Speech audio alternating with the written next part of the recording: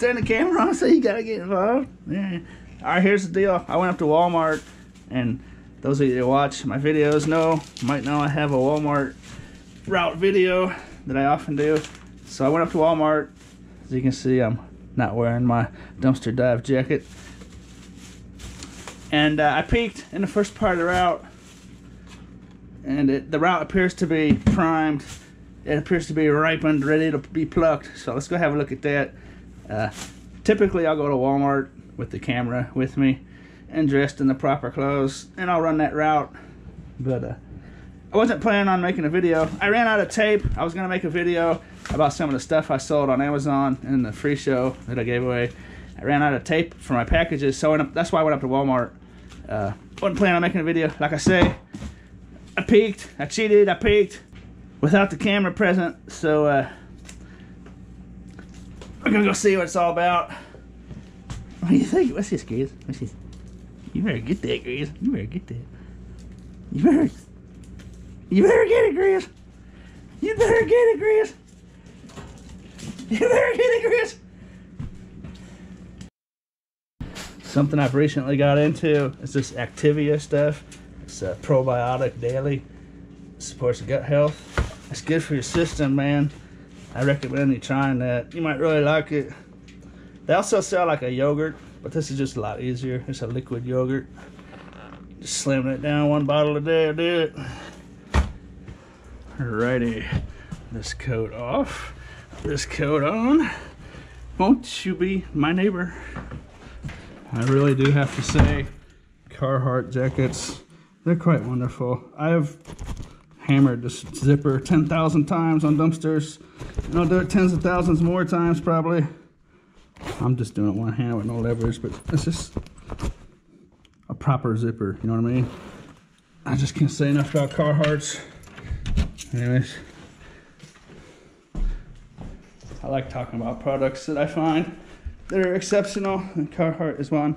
I'm not making any money off saying that or not, but I could uh, put like a link in the description and try to make commission. Slime was another one, another product I ran into. I just, just saved my production immensely. Uh, just saved me so much time and grief. Put that stuff on your tires, and uh, if it gets too bad, you can start carrying an air pump. But I mean, this tire would have been flat. I don't know what five months ago or something. Anyways, let's get to it. I guess the point I'm making about that slime that with how I'm using this these two wheelers, it's a continual thing. I will continue to pick up holes, leaks and stuff. It's non-stop, so that's why slime is awesome for me. If you take the time to repair a tire every time you just pick up a simple nail.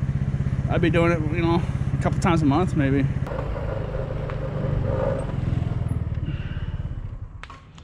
Interesting suitcase. Uh, some sort of bag down there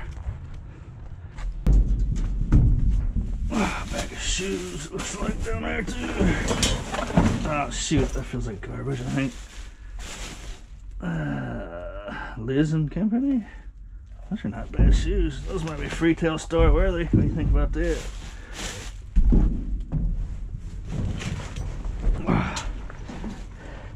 I thought this was going to be stuffed full of something. It didn't look like garbage, but now that I feel it, I think it's just a bag of garbage, unfortunately. Find a zipper somewhere. Somewhere. Oh, it's a backpack. Oh, that's a nice backpack. Upon a time. Um, well, it's a combination of both, actually.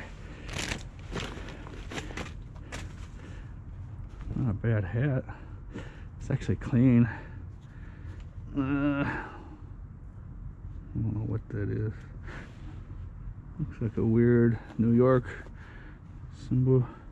Zoo York. Aha. Uh -huh. It's not a bad. It's clean. It doesn't look like it's been worn. Mountain Dew hat. That's not bad. Ah, it's just dirty. Shoot, I'd have kept that.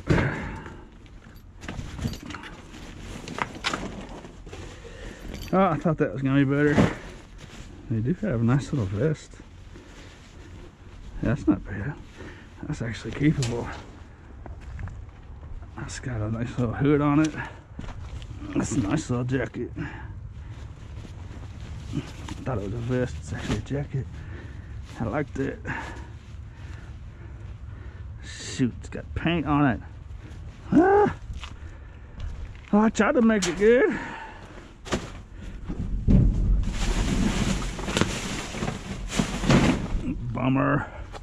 Okay. What do you think, ladies? Good pair of shoes, huh? Clean. Those will go from the retail store pretty quick. That probably will too. Okay, I'm carrying this slime in here tonight because next time I get gas, I'm gonna put it in my storage compartment. These scooters are actually made with storage in mind. You can travel with stuff down here.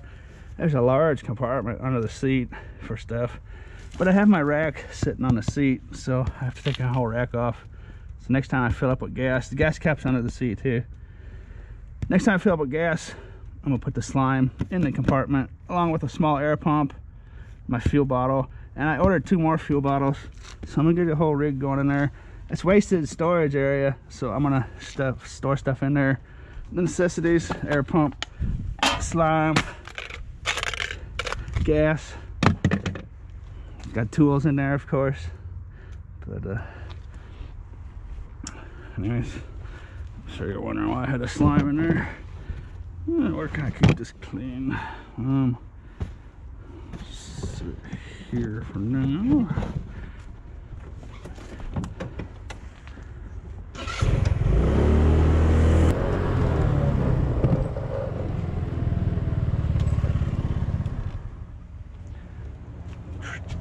Trek bicycle exit. Get this leg breaker out of the way.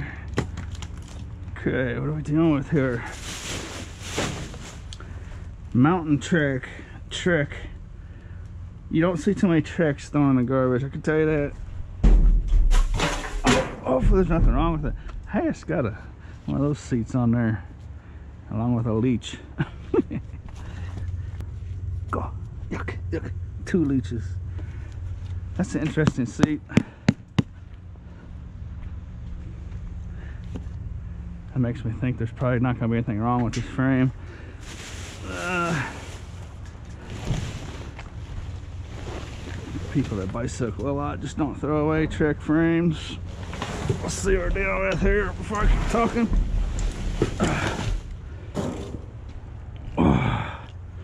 Um,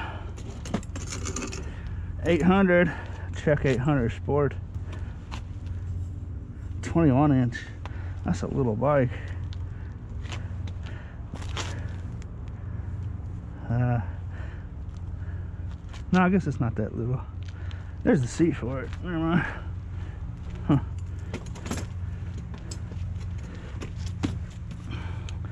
it's got a junky seat. Junky pedals that are broken the frame itself looks pretty good. I don't see any bend in the forks. Handlebars are loosened. Not the not the neck, but the actual bars. The neck looks good. Frame is straight. I don't see any bends or damage to the frame. Sprockets actually still have nice points on them as well. Um, that almost looks like it just needs tires it's ready to roll. I mean, everything's there. Hmm, maybe. Uh, no, it's missing this brake. Front, it's missing the brakes. Just the arms for the, the pads. I like it. That's a keeper. I'm keeping that one. Let's see what the frame's made out of. It's a nice steel too. I like steel frames. I was kind of hoping it wouldn't be steel, but uh, if you want to use that to carry anything, besides your own weight, it's nice to have a nice steel frame. That's not that heavy. Anyways, normally when I find frames, bicycles, I mean, I'll uh, save them until the end of the route. Or I'll save them until I come back on the way home. But uh, that's just the ones that are gonna be scrap metal.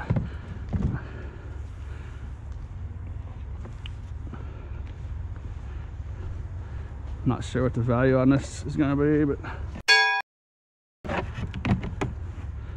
the name Trek is uh, definitely desirable in the biking world, no matter how old it is, really. Maybe not so much to sell this one, but for my own personal use. A funky little seat.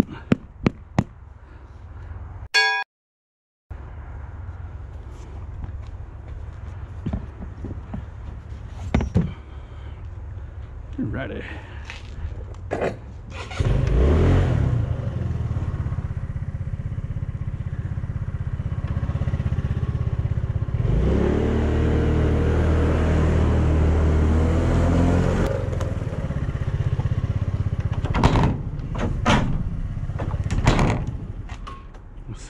Cord peeking out. I think it's a aluminum electric fry pan. Yes, it is.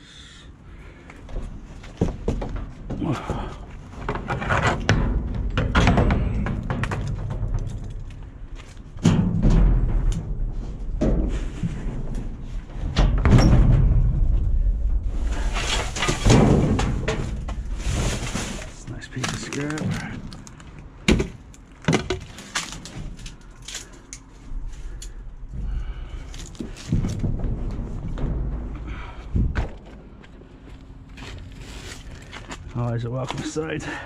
It's kind of late out here, so I don't want to make a bunch of noise, but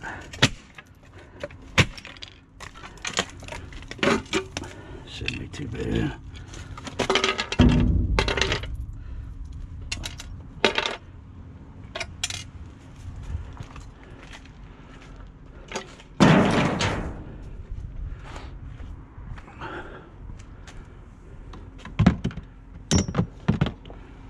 when I make those scrapyard videos, a real common thing is for people to leave comments saying I'm not making that much money with the time I put into it, but I've explained that so many times. makes me nauseous even trying to explain it again on video, let alone the people who've already heard it so many times. Here goes. five dollars seven dollars an hour is what i can make in scrap metal doing this. If i went out and worked 12 16 hours a day i could guarantee myself 50 dollars cash. It's uh it's just one piece of the pie scrap metal. This isn't a scrap metal channel it's a scavenging treasure hunting channel. Scrap's just one little piece of it. Um it's a lot like what i'm doing here it's a lot like being a waitress or a waiter. Scrap metal is like a base pay, five to seven dollars an hour. And then you're just looking for big tips like that Trek bicycle, that hat, those shoes, just in the short time of making this video. Okay, I'm sure you can extrapolate from there.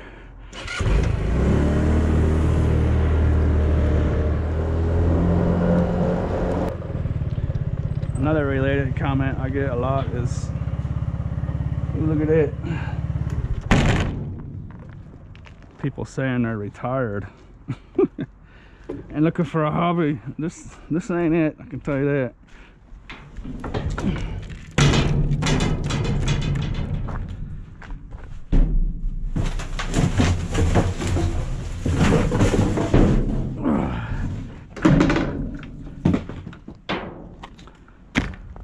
That's the radiator. I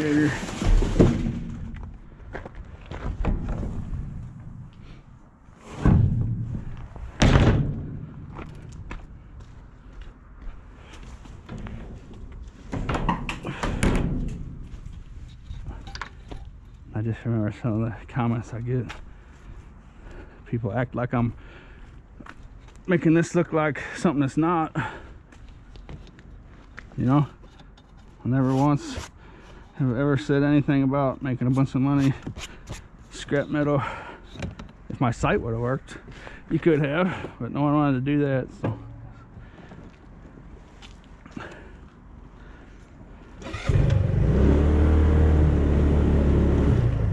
Kind of like I'm stuck in a rock, in between a rock and a hard place with some viewers because some viewers out there hating on me because I claim that a lot of YouTube videos are false. The ones that say you can make tons and tons of money doing this or that. And it's just, typically it's just not true. And then there's other people that come on my site acting like I'm the one saying you can make a ton of money doing it. and they're hating on me. So I got people on both ends of the spectrum thinking you can make a bunch of money. I say you can't. And so they're hating. And then there's people over here assuming I'm saying you can make a bunch of money and you really can't. And, and they're hating. So it's like, what? what?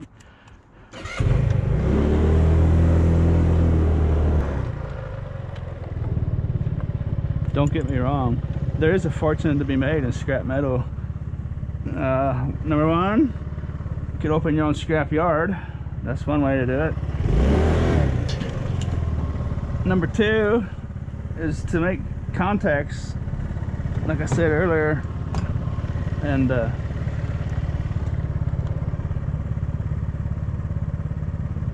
get to know people like electricians and plumbers and heating and air conditioning outfits.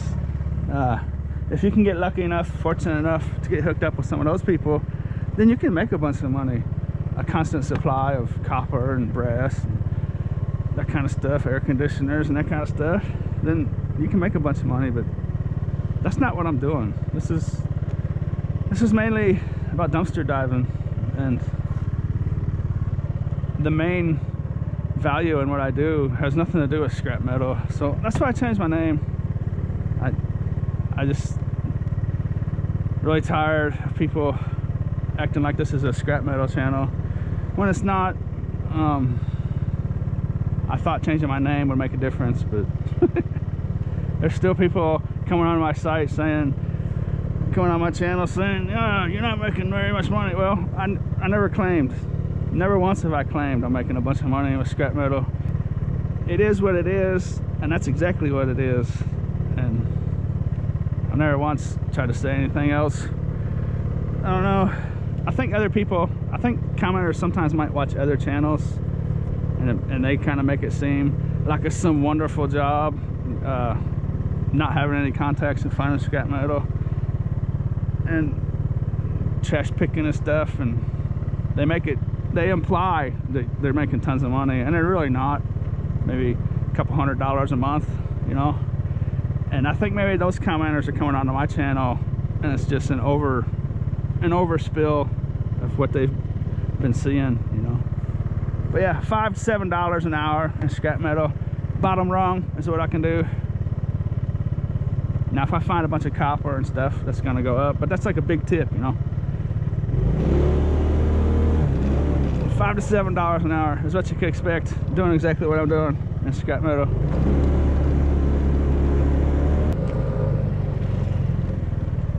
You know, usable things, that's where the real value is at. There's so much usable stuff out here. You know, I mean, if you counted that as income, stuff I put on the curb and have, I mean, like, just, I mean, look at that. It's a brand new purse right there.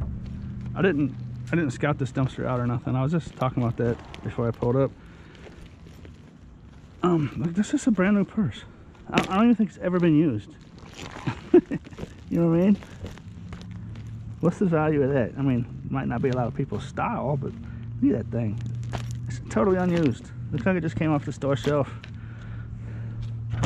What else is in here? Yeah, if you count this kind of stuff, you could you could say that I make three hundred thousand dollars a year. That's no joke. I mean, I just so much stuff I have absolutely no use for, and it's far more than I could ever even attempt to sell if I if I had a way to sell it. I don't know what's that. I don't even know what that is. It's brand new though. is it like a curtain or something? It's got buttonholes on the top here. 100% polyester. I don't know, it's nice though. It's nice and clean and brand new looking. Whatever it is, some kind of drapery, I don't know. But uh, got buttonholes top tops on the top side of it. But uh, I'll put that in the Freetail store. Put this bag in the Freetail store.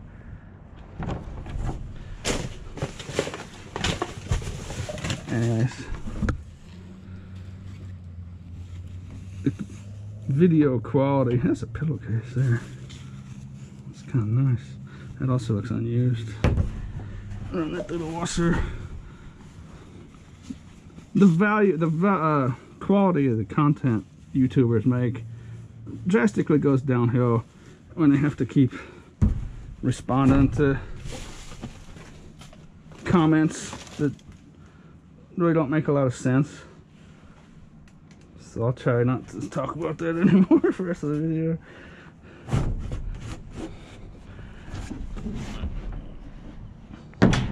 It's one of the more annoying things I've had to deal with.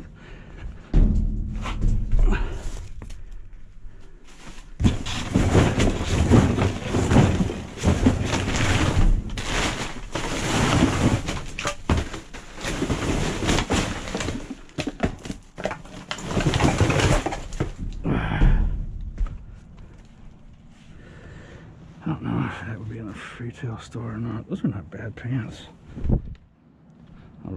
Through the washer, of course, but pro player athletic sweatpant deal. They're not bad at all.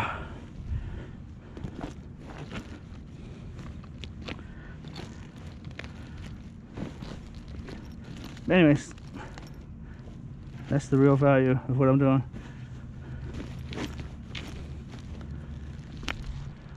It just seems like some people can watch a video where I find $350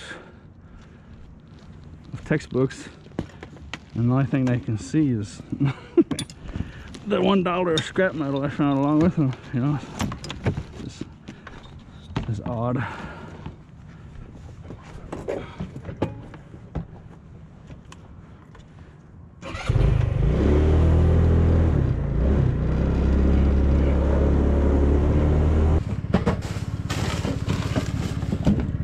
neat little car.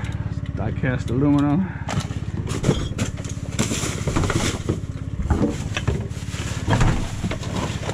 Oh, I thought it was in one piece when I turned the camera on. Scrap metal. Kind of a neat little guy though. Another comment I see when I make my scrap metal scrapyard videos is people seem to be baffled as to why I pay for storage units. Like, that's a popular thing. I keep seeing comments saying, "How can you make any money if you're using this, if you're paying for storage units?" Well, I don't know if you're just looking at scrap metal or not, but I might have twenty thousand dollars worth of stuff in my storage units, and I pay a total of ninety dollars a month to store it. I don't, I'm not quite sure what logic you're using. Am I supposed to just put it out in the middle of the field somewhere on someone else's land or what what what, what would you say to do with $20,000 worth of inventory?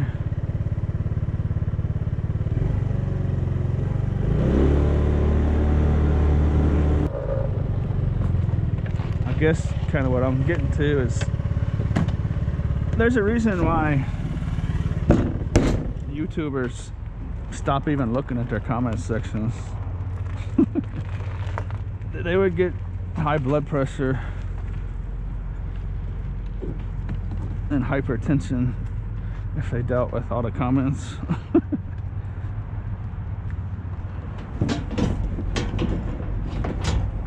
like uh, I saw in last comment section and someone was saying they figured out what my address is where I live. Well, I mean for the first year or so when I was making these videos, I, I made my address publicly known to everyone with my eShippity e-commerce website uh, for people to ship me stuff. It was an idea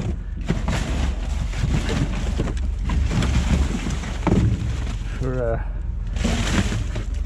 people to sell stuff besides like eBay. It's something I did when I was suspended from eBay. But I had my shipping address right there in plain sight on that website. And people have sent me stuff. But I'm not going to show stuff. Uh, like I just got done saying, you know, I, I, I've just been out here for 25 minutes maybe. And I'm just swimming in crap. Got a bicycle and purse and clothes and another bike seat and some shoes and some scrap metal. I don't want people sending me stuff. That's why I don't do a post office box or my address.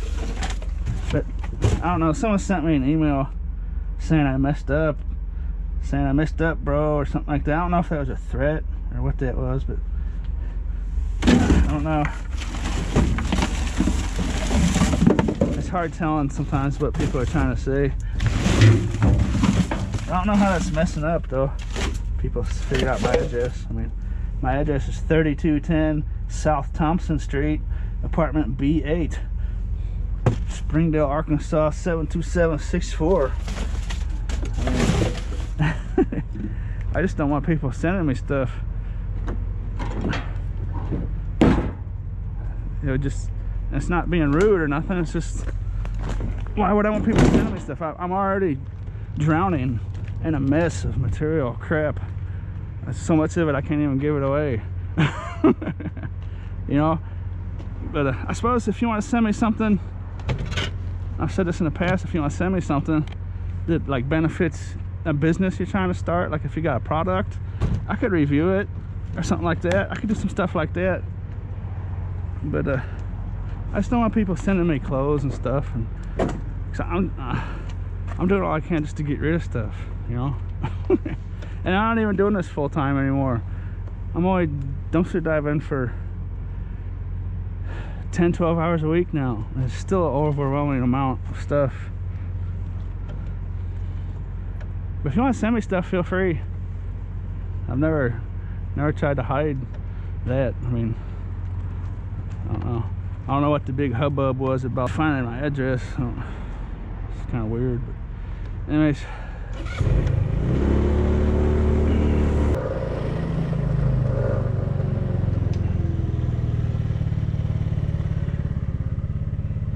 guess that's the point I'm trying to make. I may have just sounded like like I was being rude, but the, if I really wanted to be rude, what I would do is tell people to send me stuff and then act fake, you know. Oh, thanks for this uh, new hat or whatever, you know. I found three dozen of these this month, you know. That's just, I'd have to be fake, you know what I mean? I just, it's not my style.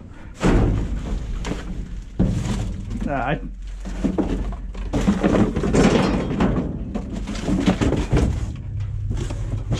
I would uh, come off as unappreciative and come off as a goon.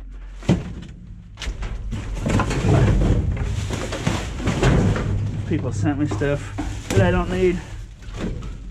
You know what I mean? Uh, that's what would be really rude. Someone take the time to send me something and I'd sit there. I'd either have to, I'd either have to sit there on camera and lie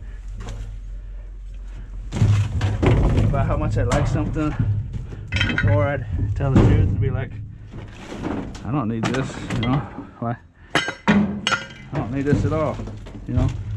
So that's what I want to avoid. if you would like to send me stuff, feel free. Uh, the only stuff that's gonna make it on camera though is stuff that benefits you. As in, if you're trying to promote your business or company, if you'd like to have me advertise a product for you, and maybe do a review. Stuff that promotes uh, you and benefits you because I simply just don't need anything. If you want to support my channel, my PayPal tip jar link is down in the description. Don't get me wrong, I accept tips.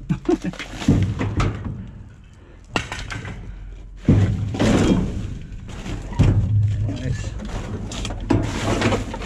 like I said earlier, if you watch my videos, you know what I'm talking about.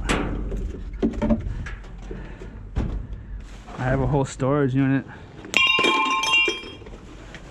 where I put stuff in and just give it away for free to people, you know. I suppose I could do that if you wanted to send stuff to me. I could put it in a retail store.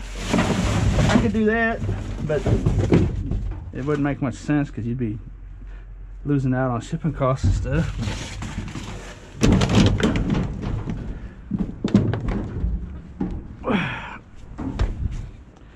Alrighty then. I don't think that was too dirty. Alright, well, this is gonna be the last dumpster actually. Well, probably gonna be the last dumpster. Uh, there's two more I'm gonna check. Probably won't be anything in it. Might be, let's see. This is why I'll go back and pick up bicycles last when they're just scrap metal. As you can see, they start to get in my way.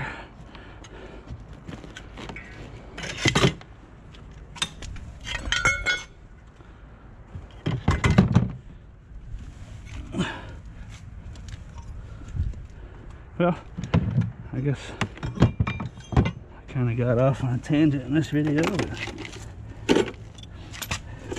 But if you ever wonder why those big YouTubers out there never, ever, ever, ever, ever reply to comments, that's why. There's just so much hate out there. it, it would give them heart, heart palpitations to even have to look at it after a while. Um, that might not make a lot of sense, but you gotta think these YouTube creators, you know, they're putting a, a lot of time into making these videos for people, you know, and to read uh, a hundred comments and have 10 of them be rude and hateful and stuff. That's no good. I mean, that's that's almost worse. And I heard Katy Perry talking about that on American Idol. I think it was Katy Perry. She's saying the worst thing is, is you scroll down your comment section and and and you read nine of them. Nine of them are really nice, nice comments, and uh, and the tenth one is just a energy vampire just a hater.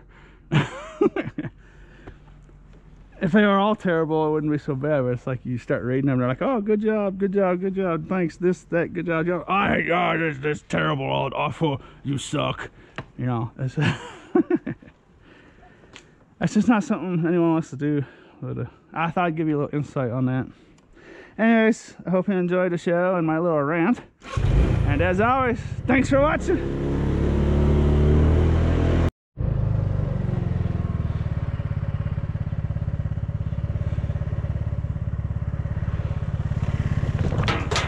Might have ended the video too quick.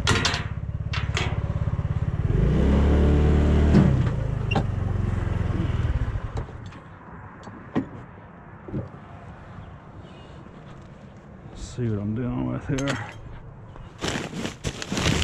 Nice tie down down there. Oh, this looks nice too. Appears to be functional. I usually scrap those though because I just don't trust them. Lots of times I'll take them to the scrapyard and go hold them aside, you know, and inspect them. That's nice. Doesn't look like nothing wrong with those.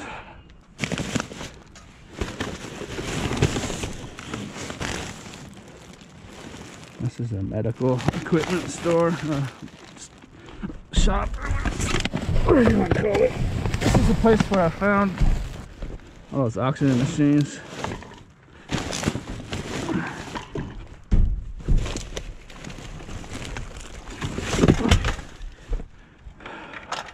I just scrap all the medical stuff. I'm never gonna mess around. Yeah. This belongs to the bingo hall. I've taken out several cash registers out of here.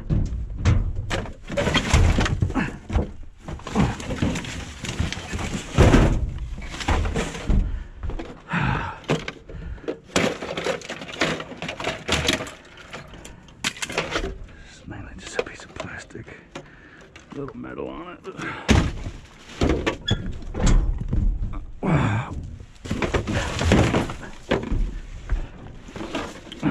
I thought they just upgraded their stuff not too long ago.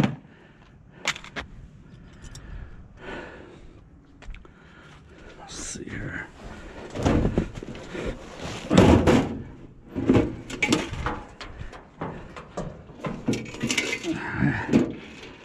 I hear a Farkle in there.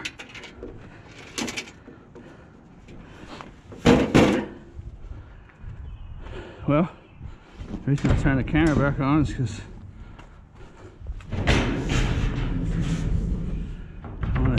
these big stainless steel things over here. And I think I was gonna run into all that stuff. but uh, I've scrapped some of these before. When it was clear, they were thrown away. It wasn't this place. It was a place that this place bought a long time ago at a different location. And sometimes they throw these out. Look at these things. Giant stainless steel canisters. And they're pretty easy to take apart too. Take that off of there. And you take off some valves and stuff. And there's a hole down in there so the scrapyards can see they're empty. And those are real valuable. They're sitting back here with some other equipment next to the dumpster. They could get someone in trouble putting stuff to the dumpster like this. Because someone might come along and snatch these up, you know. Like right now, there's probably a camera on me. But those are valuable little boogers. They're super heavy. They're nice. I want to say 75 pounds or so. For the big ones. Know. Uh, 40, 40 or 50 pounds stainless steel. It's nice. Okay, now thanks for watching. I'm not touching those. I was just showing off for video purposes.